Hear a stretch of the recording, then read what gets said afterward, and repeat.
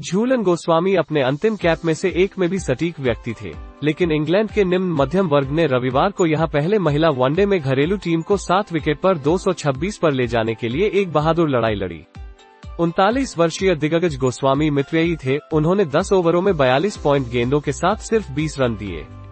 उसने एक भी सीमा या छक्का नहीं लगाया और अनुभवी टैमी ब्यूमोट सात से छुटकारा पाने के लिए एक बढ़िया ऑफ़ किक भी खींची। एक चिपचिपे कोर्स पर जहाँ गेंद हमेशा रैकेट पर नहीं उतरती थी, भारत की कप्तान हरमनप्रीत कौर ने कोर्ट चुनने में सही काम किया। शेयर मेघना सिंह आठ ओवर में एक बटा बयालीस ने शॉर्ट गेंद से साथी फ्लाई हाफ़ एम्मा लैम बारह को हिट करने के बाद गोस्वामी और स्पिनर दीप्ति शर्मा दस ओवर में दो बटा तैतीस और राजेश्वरी गायकवाड़ दस ओवर में एक बटा चालीस दौड़े। ओवर ने लगातार रन के प्रवाह का गला घोट दिया। हालाँकि स्नेह राणा छह ओवर में एक बटा पैतालीस और पूजा वस्त्रिकर दो ओवर में शून्य बटा बीस के साथ साथ मेघना ने कुछ अंक गिराए क्योंकि घरेलू टीम 220 से अधिक पर समाप्त हुई।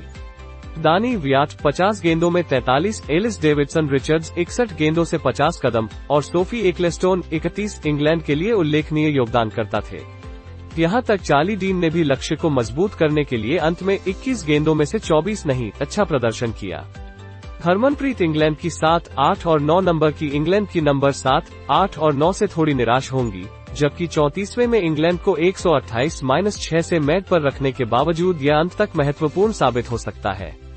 जहाँ गायकवाड़ और दीप्ति ने अपनी गेंदों की गति में बदलाव किया, वहीं राणा उस गति से गेंदबाजी करने के दोषी थे जिससे उन्हें स्कोर करना आसान हो गया।